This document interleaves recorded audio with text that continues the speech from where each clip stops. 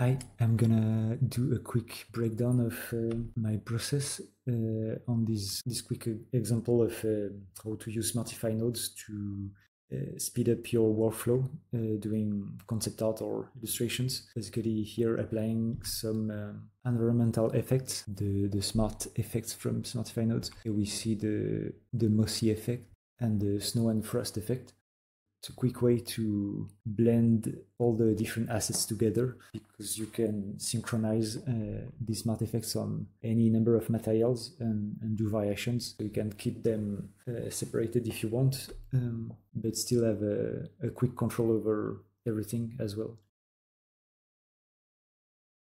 So here is how it looks uh, when it's rendered in Blender. So based on this, I open all the different paths and do some compositing in Photoshop, but uh, I can start showing the 3D scene.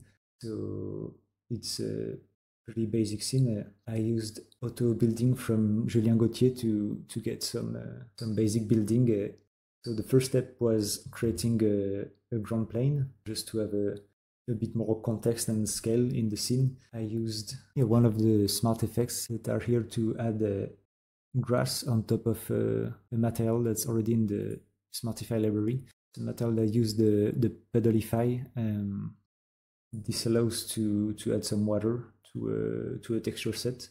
We, we deactivate the grass, we'll see a bit better. But, uh, but basically we, we can control a bunch of different things, the amount of water and the color, the roughness, so that's not the best lighting setup, but uh, basically you can see there is a control for yeah the color of the water, the mud, and the, the rim. That's uh, between the, the flat surface of the of the water and the the more rough uh, part. I darken the stone a bit to be easier to see. I can control the surface specular and the, the water speculars. In theory, it's pretty simple to use. Uh, all the, the settings are self-explanatory.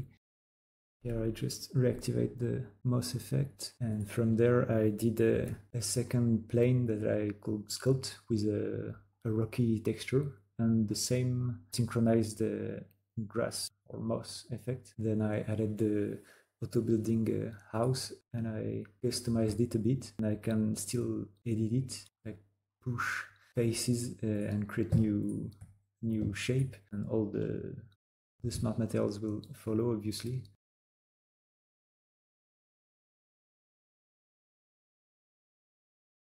So I broke down a bit the, the structure to give it a, a more realistic and organic look avoiding like straight edges. If this uh, this house is a bit abandoned uh, the roof probably collapsed a bit with the, the, age. And then I added a few props, some rocks, some uh, planks. Um, I used the the physics dropper add-on that's amazing to simply duplicate an, uh, an object a bunch of times and launch a, a rigid body simulation so you can create a bit of chaos in your scene with this. And then on the blank material, I pasted the moss synced effect. I have two versions, uh, moss flat for everything that's a, a, bit more flat like the ground and the moss is uh, appearing basically less often. If i swap it with the normal moss you'll see there is more moss. Simply the the, the facing is a, a bit different. Uh, yeah to do this i simply append uh, without the reuse uh, this this node uh, once you created your your smart effect or just uh, drag and drop the, an existing smart effect, you can paste it in this new node. Just make sure it's a, it's a new one and not one that's already used. Create a new synced smart effect. Uh, inside it's very simple. There's just this, so you can paste your effect here and then copy paste this node onto any other material meaning when you edit the settings of the smart effect, they will synchronize on all these different materials. So here I still wanted some control over two types of moss, some, some effect that creates a little bit of moss, and another effect here, for example, on the tombs that creates much more moss. Um, so I simply made sure they they are two two different nodes. And if I wanted to create a third, it's very simple. I just uh, make unique and rename to make sure uh, to make sure I won't uh, yeah mm, make any mistake. So I also added some ropes. Uh, basically, I just uh, I just grabbed a, a, rope texture from Google, uh, simply drag and dropped it in Blender, and I added as well the the mossy effect on that rope as I wanted to control it only for this rope material, I, I didn't paste the synced effect, I just paste this um, the mossy effect directly. So to draw more ropes, it's very simple. Just create a, a curve, and then with the, the draw tool, you can check the, the tools option. And the two important functions are this uh, cursor or surface. Surface meaning it will snap to anything uh, even light. So it's it, this is a bit annoying. The the very easy workaround is just to hide the overlays if your curves are snapping to to light or any any UI element. But you can also snap to cursor. So with shift right click, you can place the cursor and then you can draw on a plane that will face the camera and be placed on the cursor. So that way it's fairly easy to draw in 3D and if uh, yeah things are not well placed, you can always transform the curves uh, after they've been drawn. So from there, obviously, what was missing was uh, vegetation. So I used various uh, asset banks I have, mostly free ones, um, to add, I guess, only two trees, two different type of trees, and a few grass elements. And on the trunk, of the trees, I pasted as well the, the mossy synced effect. So this helps as well a lot to merge the vegetation inside the scene because then the the trees seems to be affected by the same the same elements as uh, as everything else in the scene the the planks the, the rocks everything uh, seems to be merged together naturally and any any tweak any adjustment on the this mossy smart effect replicates on on the trees and on everything. So that's how it was very simple to switch this scene to a, a winter scene. So I can yeah do it in a in a few clicks. I just have um, basically four or five different moss effects. So I just need to swap them to a snow effect.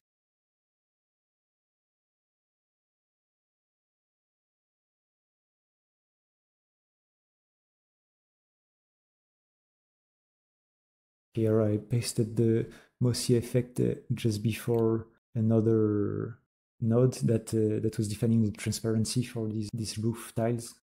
That's uh, yeah a practical thing uh, with Smartify is that there is no automation, so there is no bug. Basically, everything is is controlled by you. Um, everything can be modified as you wish because it's all just nodes you could create yourself, except they are they are already yeah very well organized so uh, doing yeah them from scratch obviously it will be a chore. But now in a few clicks we yeah totally transform the the environment. Obviously if it was winter maybe the leaves would have fallen but uh, but we still have a bit of, of snow on the leaves because uh, because everything is uh, yeah procedural so any any mesh can can receive these uh, these smart effects. So even even the leaves uh, and yeah, here if we want a bit more snow on uh, on these as they are in a separated synced effect, we can increase the snow and it will affect uh, all the other materials that have the this synced effect that are yeah 13 materials so here just playing with the facing, meaning there will be more snow facing downward until yeah it faces on the side. And if I keep pushing it will yeah add snow even on the faces facing downward. And if I create more distance between the on and the off it means the the ramp will be larger. In fact uh, at any time I can look at the mask of any smart effect. So very simply with a control shift click, I can check exactly uh, what I'm doing with the, the smart masks. If I want a lot of contrast, I can keep these uh, the on and the off close together. meaning it will go from black to white nearly instantly. And if I want something softer, I can keep some distance between them. Of course, uh, for snow here, we want to keep things only on the on top. We can add just a little bit of, um, of snow on the sides. And to view the shader I, again, I can just uh, control shift click on the, the last node. Here it's the synced effect. If I feel there is there isn't enough contrast, I can uh, very easily change the the look of the this scan asset uh, as it has the, the smart shader. I have uh, access to a little bit of color grading with a soft light and multiply. So that's because it's what we usually use in Photoshop to just uh, correct photos to Photobash to integrate. So it looks more natural to color correct uh, a picture with soft light and multiply rather than uh, a hue shift because hue shift will um, create a lot of artifacts between the different hues and it, it, just looks more natural to to play with um, with blending modes like this. So here, if I want the snow to be a bit more shiny or anything, I have access to a few yeah shading options I can make it a bit brighter, a bit bluer, add a bit more Fresnel, a bit more glossy. I can also access the displacement of the snow, so I want to fake a bit more uh, actual snow. Just don't forget to have your displacement active in your material here in, in the settings surface. The idea is to have displacement only because the bump you can uh, basically add it in the smart shader, you can add more or less a bump from the, the height and Blender add it at 100% if you have uh, bump and, dis and displacement, displacement and bump. Mm, in most cases, have too much bump. So here in, in the smart shader, you can you can tweak uh, and yeah, adjust how much you want uh, this uh, fine bump from the, the height map. And obviously I didn't have the displacement connected, so also, shading smooth will uh, avoid a lot of uh, artifacts with displacement. So here I can simulate like the surface has been modified by the, the snow effect. So I can check other part of the, the scene just to make sure uh, these changes to the the synced effect um, work on other assets.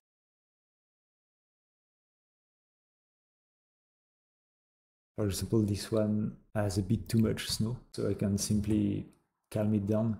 I could also do it only for this object, but uh, I don't want to complexify too much the scene, so I can also darken a bit this uh, this scan. So this is the image from the scan, and it's just plugged to a smart shader. So I have a few few more options compared to um, Principled. So now that's more reasonable. So with Alt right click, I can connect things uh, very fast with the, the Node Wrangler add-on that's uh, by default in Blender.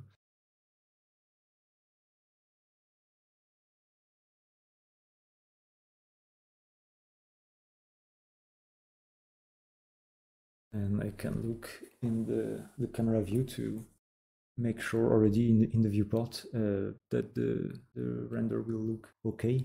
It's uh, yeah faster than to, to press F12, just uh, control space on any window to full screen it. And yes, so I can simply render and I keep all passes separate in a multi-layer EXR. In Photoshop, um, I can do a lot more things to push the image. Here I can show one node that I added to the bonus in Smartify. That's uh, a multipass denoise. So it's very simple to set up. You can just drag drag it on in your compositor. To connect it to your render layers, you can just uh, alt right click and in a few seconds it's all connected. And so what that do is denoise all the passes you need. In fact, uh, you can define what you want to denoise or not. I think that's the best solution. Uh, because you you can go very fast uh, if you just denoise the the diffuse and the the gloss. But if you want to do compositing, you will want to have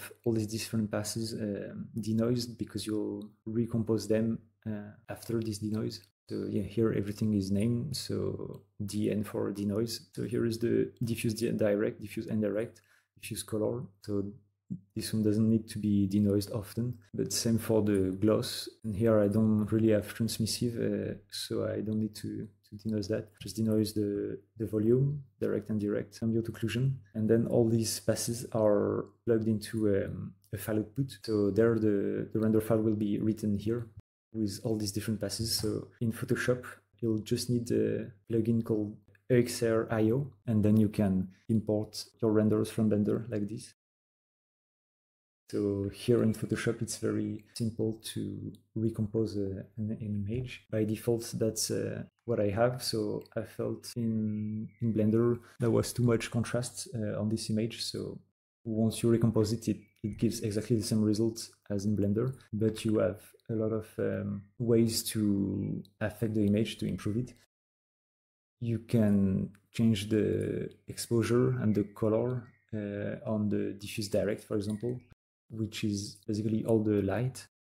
On the indirect, that's all the global illumination basically. And then the gloss, you can increase or decrease the, the glossiness of, of, of, everything. You can also boost the emission if you want, and you get the the volume that uh, that's very important to to control in an image to have just enough but not too much. So here, once I, I'm done compositing the passes, I simply Control A, copy paste onto a file that's in 8-bit because uh, in 32-bit, the imported EXR lacks most of Photoshop features, like you can't really paint, you can't really do anything uh, apart from changing blending modes. So here by pasting in a 8-bit file, I can mostly use the the mist or the ZDepth to add some handmade uh, fog, some vignette, some yeah, elements to help reading all the different elements in the scene to have a better perception of the, the depth. And then I can obviously change the, the background, the sky. It's always a good idea to simply put some photo because it will be better composed than the your HDR from Blender and probably better resolution too and you have more choice. And it's easy enough to find some clouds that match more or less with your lighting. And then the volume can be controlled with a layer in overlay mode for example so you can paint over the, the volume without affecting it too much. A good idea also is to copy paste your uh, your base composite to FotoSketcher because that allows you to just break or erase a bit the the CG render look.